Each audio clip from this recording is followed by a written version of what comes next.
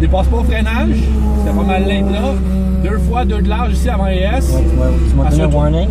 Hein? Oh, le warning. warning, Mais là, après ça, t'as late, t'as passé quelqu'un late encore une fois. C'est bon. C'est bon? C'est Juste dommage, c'est Attention.